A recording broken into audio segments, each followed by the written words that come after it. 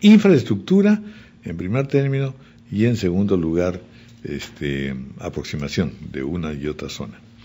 Este, Andrés Eduardo Tello. Bueno, lo primero debo decir que en todo caso la realidad no es un error con respecto a lo que yo decía con relación al departamento. La realidad es la realidad, no se inventa, se descubre. En segundo lugar, debo señalar, como usted dice, evidentemente nosotros estamos recibiendo en esta época, yo vivo en Chilca, por ejemplo.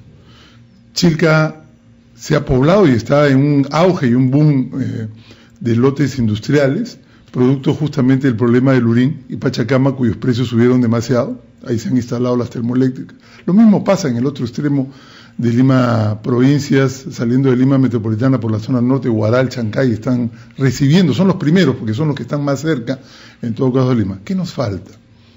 En 12 años de gobierno regional no tenemos ni plan de desarrollo, ni plan de ordenamiento territorial, y eso evidentemente genera un inconveniente.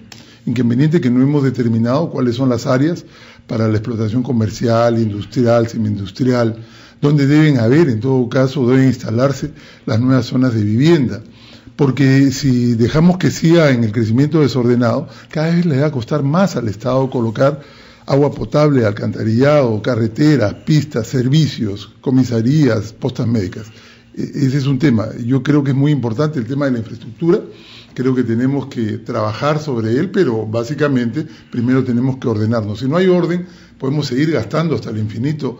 En 12 años hemos gastado mil millones de soles en obras públicas en el gobierno regional 50 millones del primer gobierno de Mufares, 300 de la época de Nelson, 650 en este, son mil millones, y usted le pregunta a la población dónde están las obras, y muchas veces la población no lo conoce, no sabe, porque no se ha dejado sentir en todo caso, ¿no? Este trabajo del gobierno regional, y es un tema trascendente, ni en infraestructura, ni en temas que estén relacionados a que le cambien la vida a la gente.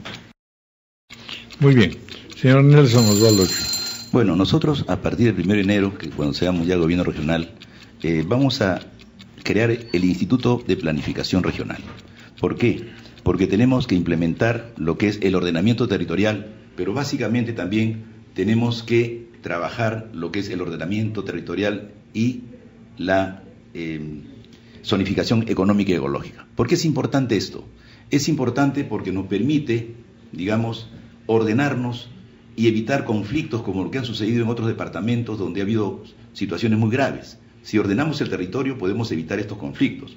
Pero además tenemos que hacer una, gestión eficiente de los recursos naturales. Eso es lo que tenemos que hacer, señor. Este, y además, ¿qué, proponemos nosotros? La siembra y cosecha de agua.